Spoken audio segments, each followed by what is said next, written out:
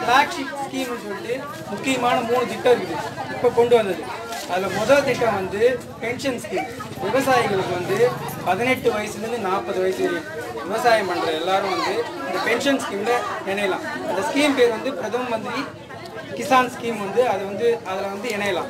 அது என்னன்னா பதினெட்டு வயசுக்கு வந்து ஐம்பத்தஞ்சு ரூபாய் நீங்கள் வந்து அமௌண்ட் வந்து கட்டணும். மந்த்லி ஆமாம் மந்த்லி இது மந்த்லி எல்லாம் மூணு மாதத்துக்கு ஒரு கட்டலாம் ஆறு மாதத்துக்கு ஒவ்வொன்றா இல்லை வந்து வருஷத்துக்கு பண்ண போறீங்கிறது அது இல்லைன்னா அதிகபட்சமாக நாற்பது வயசு உள்ளவங்க வந்து இரநூறுபா மாதத்துக்கு அது வந்து வருஷத்துக்கு வந்து எவ்வளோ பன்னெண்டு இருபது ரெண்டாயிரத்தி நானூறுபா வந்து நீங்கள் கட்ட வேண்டியது வரும்.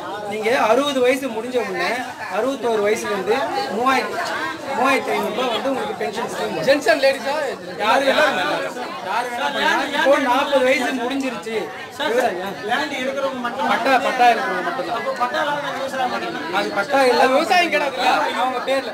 விவசாயி கூலிய கிட்ட வாங்கிக்கலாம். கூலி விவசாயம் பண்ண முடியாது கூலி பண்ண முடியாது குத்தி பண்றப்பல அவரு அவர் குத்தகை கிட்ட இந்த புலையன்களை வந்து இந்த புலையன்களை வந்து இவர் வந்து இன்னாரு? குப்புசாமி மகன் ராமசாமி சாகுபடி செய்து வருகிறார் அப்படின்னு விஓ சான்று கொடுத்தா போதும். அதை வச்சு நாற்பது வயசு முடிஞ்சவங்க நிறைய பேர் இருப்பாங்க. நாற்பது வயசு முடிட்ட முடிட்ட கேட்கல பேசி. வந்து போட்டு பென்ஷன் ஸ்கீம் பண்ணிக்கலாம் ரெண்டாவது வந்து இந்த பிஎம் கிசான் ரெண்டாயிரம் ரூபாய் வருஷத்துக்கு ஆறாயிரம் ரூபாய் போடுறாங்கல்ல அந்த ஸ்கீம்ல விடுபட்டவங்க யாராவது இருந்ததுன்னா பணம் வராது இருக்கவங்க அது வந்து ரிட்டர்ன் லிஸ்ட் வந்து அமைச்சிருக்காங்க பாஸ்புக் தப்பாக இருக்கிறவங்க வந்து அது வந்து விஓ கிட்ட கேட்டு வாங்கிக்கிறோம். அப்படி இல்லைனாக்கா ஃபோன் பண்ணி சொல்கிறோம் அந்த டைமில் அவங்க மட்டும் பண்ணுங்க மூணாவது வந்து இந்த பிரதம மந்திரி வந்து கிசான் கிரெடிட் கார்டுன்னு சொல்லிட்டு கொடுக்குறாங்க. பேங்க் மூலயமா உங்களால் போக முடியல. அது வந்து பட்டாதாருக்கு மட்டும்தான் கொடுப்பாங்க. கிசான் கிரெடிட் கார்டுன்றது ஒன்றும் இல்லை. கடன் அட்டை இப்போ வந்து முன்னாடியே வந்து அவங்களுடைய ஏரியா லேண்டுக்கு ஏற்ற மாதிரி ஒரு ஏக்கர்னாக்கா பத்தாயிரம் ரூபாய் வந்து அவர் கிரெடிட் கார்டு கொடுக்கும் அதை வச்சு அவர் வந்து விவசாயத்துக்கு தேவையான உரம் வாங்கிக்கிறது பூச்சி மருந்து அதெல்லாம் வந்து வாங்கிக்கலாம். ஆனால் அந்த கிரெடிட் கார்டு வாங்குறதுக்கு பேங்க்குக்கு போகிறதுக்கு கஷ்டமாக இருக்குனாக்கா நீங்கள் எங்கள் office agri office PD office பின்னாடி வந்தீங்கன்னா நாங்களே வந்து பேங்க்லேருந்து ஃபார்ம்ஸ் எல்லாம் வாங்கிட்டு வந்துடுறோம். உங்களுக்கு அப்ளை பண்ணி தரோம் அதுக்கு உண்டான டாக்குமெண்ட் என்னன்னா சிட்டா அடங்கல் நீங்கள் வாங்கி தரணும். ஆதார் கார்டு ரேஷன் கார்டு ஒரு ஃபோட்டோ இது வரைக்கும் நீங்கள் எவ்வளோ நிலம் இருக்கு மினிமம் ஒரு ஏக்கர் இருக்கு. மினிமம் ஒரு ஏக்கர் இருக்கு. கிசான் கிரெடிட் கார்டு வந்து அது வாங்கலாம் இந்த மூணு தான் வந்து ஃப்ளாக்ஷிப் அது இல்லாமல் eighteen to eighteen to forty அதுதான். நான் பதினெட்டு வயசுலேருந்து நாற்பது வயசு நாற்பது வயசுக்கு மேலே இருக்கவங்க எல்லாருமே அவங்க வீட்டில் இருக்க பசங்க பொண்ணுங்க அந்த பேரில் போட்டு பண்ணு. அதுக்கப்புறம் வந்து எம்ஐ மெயினாக வந்து பாசனம் நாற்பது வயசுக்குள்ள சொல்லுங்க சொல்லுங்க நீ இருப்பா. அப்புறம் பேசுற இருப்பா. முதல்ல முடிக்கிட்டேன்பா அவர் சொல்லி முடி பண்ணலாம் அப்பா பேர் லேண்டுக்கு அப்பாவுக்கு நாற்பது வயசுக்கு மேல ஆயிடுச்சுன்னா நீங்க வந்து உங்க பேர்ல சான்று கொடுத்தாருன்னு சொல்லிட்டு இது வந்து காமன் சர்வீஸ் சென்டர்ல பண்றாங்க. அது நீங்கள் உங்களுக்கு தெரியலன்னா ஆஃபீஸ் அண்ணா வந்துருங்க. அங்கேயே நாங்கள் போட்டு அங்கேயே பண்ணி தரோம் இன்னொன்னு- இன்னொன்று வந்து முக்கியமான ஸ்கீம் வந்து நுண்ணீர் பாசன திட்டம் இப்போ இந்த ஸ்கீம் தான் வந்து ஃபுல்லாக வந்து செயல்படுத்திட்டு இருக்கோம். நூறு சதவீதம் மானியம். அது என்னன்னா இந்த சிறு விவசாயி சர்டிஃபிகேட் வந்து அது சிறு விவசாயி தான் எலிஜிபிள் அதாவது வந்து நஞ்சியாக இருந்தால் ரெண்டு ஏக்கருக்குள்ளே இருக்கணும். குஞ்சியாக இருந்தால் வந்து ரெண்டு அஞ்சு ஏக்கர் வரையும் இருக்கலாம். அந்த விவசாயிகள் எல்லாருமே எலிஜிபிள் நீங்கள் சிறு விவசாய சர்டிஃபிகேட் வந்து தாலுகா ஆஃபீஸ் போய் வாங்கணும் அப்படின்ற அவசியம் இல்லை. அதை நாங்களே வாங்கி தரோம். அதனால வந்து மினிமம் ஒரு ஏக்கர் இருக்க விவசாயிங்க எல்லாருமே இதில் பயனடையலாம். ஒரு ஏக்கர் இருக்கவங்க ஒரு ரெண்டரை ஏக்கருக்குள்ள இருக்கவங்களுக்கு வந்து ரெண்டு இன்ச்சு தான் வந்து எலிஜிபிள் வரும். ரெண்டரை ஏக்கருக்கு மேலே இருக்கவங்களுக்கு வந்து ரெண்டரை இன்ச்சு எலிஜிபிள் வரும். ஃப்ரீ ஐம்பது சென்ட் இருக்கவங்களுக்கு எலிஜிபிள் இல்லை. மினிமம் ஒரு ஏக்கர் தான் கிரைட்டீரியா கொடுத்துருக்காங்க. சொட்டு நீர் பாசனம். போடலாம். இருபது சென்ட் முப்பது சென்ட் இப்போ மல்லி செடி வச்சிருக்காங்க முப்பது சென்ட் தான் வச்சிருக்காங்கன்னா அதுக்கு ட்ரிப்புன்றது அந்த சொட்டு நீர் பாசனம் போடலாம். அந்த பைப்பு தரமா?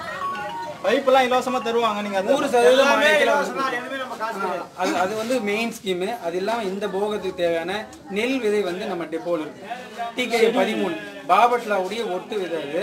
அது வந்து நூற்றி இருபது நூற்றி முப்பத்தஞ்சு நாள் பாபட்லானா இது ஒரு பத்து நாள் வந்து முன்னாடி வரும் மரபணு ஆமாம் அது வந்து ஒட்டு விதை அது. டிகே பதிமூணு எல்லா ஊரில் எல்லாம் நட்டுருக்காங்க. நடாதவங்க இந்த முறை ஆஃபீஸில் வந்து வாங்கிட்டு வந்து நட்டு பாருங்க. ஏன்னா வந்து ஈல்டு வந்து நல்லா வரும்.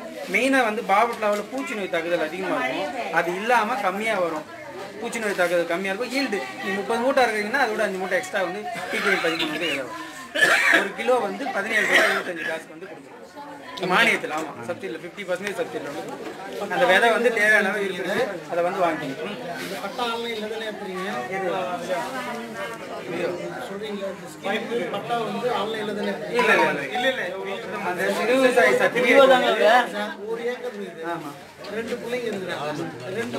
ஒரே பட்டா இல்ல இந்த மாதிரி ஒரே பட்டா. ரெண்டு பசங்க சரியான கேள்வி. ஒரு ஏக்கர் இருந்தா ஒருத்தர் தான் வாங்க ரெண்டு பசங்க இருக்காங்கன்னாக்கா ஒருத்தர் தான் வாங்க முடியும். அதுவும் வந்து பட்டாதார் வந்து அப்பா மேல இருக்கு. ரெண்டு பிள்ளைங்க இருக்கிறாங்கன்னாக்கா நீங்க வந்து அது வாங்கவே முடியாது.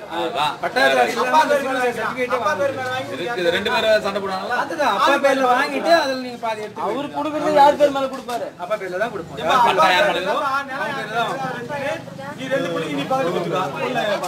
நெல் விதைகள் இப்ப மழை பெஞ்சிருக்கு நெல் விதையெல்லாம் ஆபீஸ்ல இருக்கு அது வந்து மட்டும் வாங்கிக்கோங்க சார் இந்த சீம கருவேல மரத்தை எடுக்க சொல்லி ஏதோ ஸ்கீம் வந்து எல்லாம் அந்த டைம்ல எடுக்க சொல்லி பிடபிள்யூடில அந்த இதுல சொல்லிருந்தாங்க. மத்தபடி நமக்கு எதுவும் இல்லை.